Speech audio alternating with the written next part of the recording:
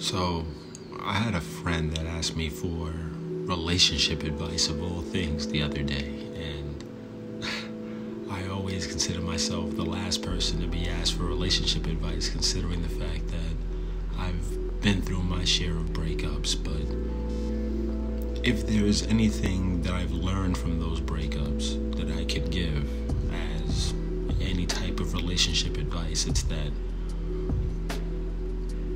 there doesn't always have to be a bad guy in the situation.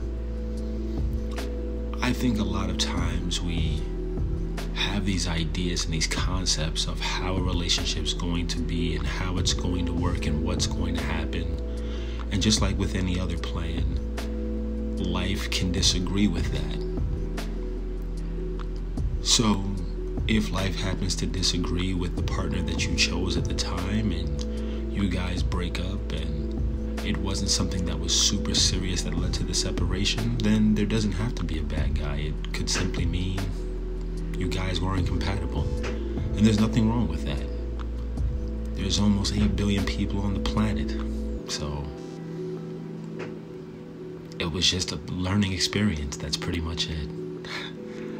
Um, I'm not a relationship guru. That's just a simple tip just something that I've learned from my experiences that I can give to anybody who would like to learn from my mistakes. Or not my mistakes, but my experiences.